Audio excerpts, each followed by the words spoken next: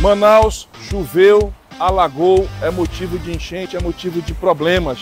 E aonde está a Prefeitura de Manaus?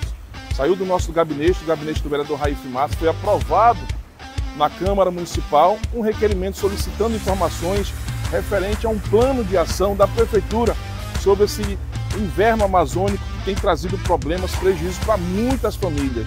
E a Prefeitura precisa se posicionar de alguma forma, trazendo à luz para a população manauara não somente as informações, mas de fato agindo nesse inverno amazônico. Não para de chegar denúncias referentes a esse inverno amazônico, a questão das inundações. A gente segue trabalhando, fiscalizando de perto, junto com a população manauara por toda Manaus.